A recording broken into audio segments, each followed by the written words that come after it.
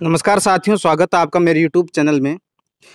जिन साथियों के rate form भरने में कोई त्रुटि रह गई है, उनको संशोधन का एक विकल्प दिया गया है। विज्ञप्ति जारी की गई है रेट 2021 है तो आइए थोड़ा डिटेल में हम देख लेते हैं। जो भी साथी रेट से संबंधित हैं, उनके साथ साथ आप वीडियो को शेयर ज़रूर करें। राजस्थान अध्यापक पात्रता परीक्षा दो हज़ार इक्कीस यानी कि रेट हेतु तो आवेदन करने वाले अभ्यर्थियों को भाषा प्रथम व द्वितीय में संशोधन करने का एक अंतिम अवसर ऑफलाइन दिया जा रहा है। इस हेतु अभ्यर्थी बोर्ड की वेबसाइट से निर्धारित प्रारूप डाउनलोड कर रुपये तीन सौ प्रति संशोधन शुल्क के साथ आवेदन कर सकते हैं। निर्धारित आवेदन प्रपत्र रेट कार्यालय में इकतीस अगस्त दो हज़ार इक्कीस तक स्पीड पोस्ट द्वारा स्वीकार किए जाएँगे। एक ऑफलाइन फॉर्म होगा, वो मैं आपको वीडियो में भी आगे दिखाने वाला हूँ। यदि आपको ज़रूरत हो तो पीडीएफ आप डाउनलोड कर सकते हैं प्रिंट करने के लिए। और जो प्रति संशोधन शुल्क है, वो तीन सौ रखा गया है, जो कि स्पीड पोस्ट के द्वारा रेट कार्यालय को भेजना होगा।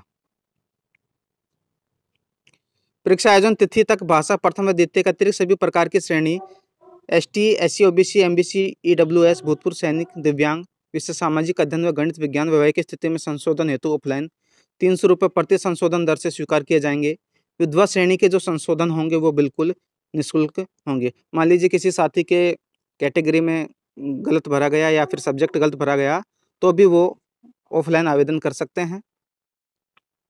परीक्षा परिणाम घोषित होने के पश्चात परीक्षा में उत्तीर्ण परीक्षार्थियों के नाम पिता का नाम माता के नाम पति नाम में वर्तनी सुधार जन्म तिथि में संशोधन के लिए तीन सौ रुपये प्रति संशोधन दर से निर्धारित पत्र में आवेदन करना होगा। उपरोक्त सभी संशोधन निर्धारित प्रपत्र जो कि रीट की वेबसाइट पर उपलब्ध हैं जिन्हें ऑफलाइन प्रस्तुत करना होगा।